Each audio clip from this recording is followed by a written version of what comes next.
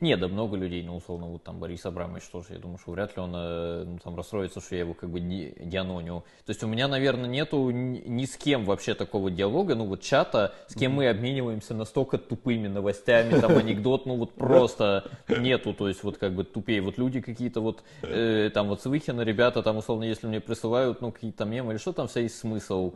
Но вот когда мы с Борисом что-то, ну, там вот, ну, просто Да.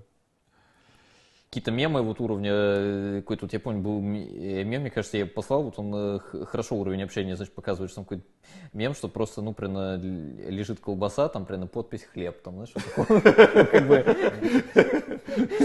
Причем я это отправил, ну, что в ответ на...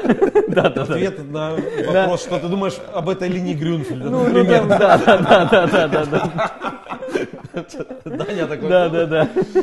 «Ну, это Приблизительно так.